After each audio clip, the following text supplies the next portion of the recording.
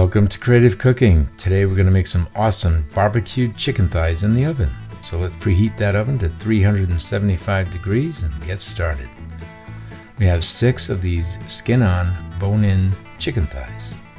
I like to use a pair of kitchen shears to trim off any excess fat and excess skin.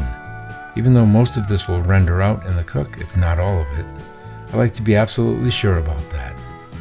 So I take it all off.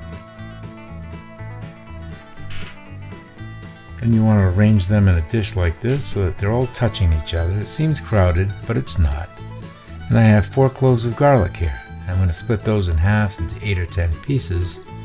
And what we want to do with that stick it in between the, you know, the pieces of chicken along the edges and in the center. We're not going to eat the garlic. It's all part of the, um, the braising liquid. Then we want to season that with some orange juice. If you have fresh squeezed, that's pretty awesome. And you don't need much, just a little bit to fill in the little cracks down there. And then we're going to add some soy sauce, not the light stuff, the regular soy sauce. And the ratio between the orange juice and the soy sauce is about one part orange juice to two or three parts of soy sauce. And I like to pour it directly on top because we're going to brown this in the oven for a good long time and that just assists with the browning, even though really the chicken is cooking in what is essentially a braising liquid. Okay, and you don't want to cover them, just enough to come up to the edges where there's no skin. Then I sprinkle on a little bit of kosher salt, not too much, because we are using soy sauce. And of course, I wouldn't do anything like this without adding some freshly ground black pepper. Of course, pepper on everything, right? And you, um, you just lightly dust it and now you're ready to go in the oven. I'm going to place that on the center oven rack and that's going to bake at 375 degrees for about 1 hour and 10 minutes minimum. You can go up to a minute and 20. Just don't completely burn the tops. When they come out of the oven, they'll look something like this.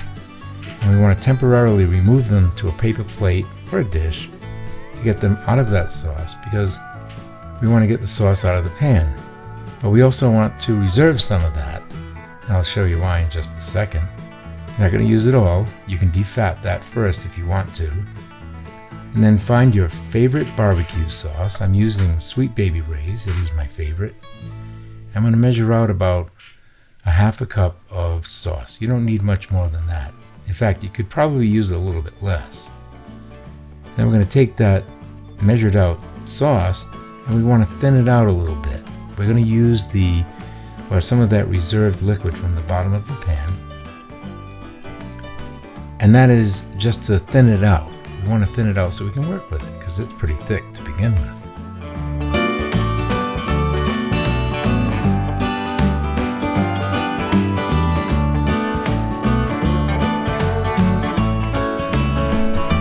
And the next thing you want to do is take some of that sauce and put it back on the bottom of the pan. You could just take each piece and individually coat them, but we're going to be cooking them in this pan.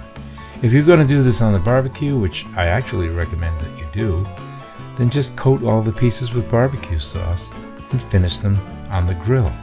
It does come out better, it caramelizes better. But we're going to do this one in the oven. So, we're going to take a pastry, a pastry brush rather, I'm going to brush the tops and around the sides and use up all of that delicious sauce. Then this goes back into the oven at 375 or you can even raise it to 400 degrees for about 10 minutes. And when it's done, it's going to look something like this. Now let me show you just how tender this is. You see how that's nice and soft? Alright, you flip it over on the on the back side and it just pulls apart. This is like doing fall off the bone ribs. Only we're doing it with chicken thighs. Once you clean it all up, there's no fat at all. None whatsoever. No bones and no fat. Just a tasty, crispy skin. So I hope you enjoyed this video, and I hope you come back each week for more great videos made for people who like to cook. Until then, bon appetit.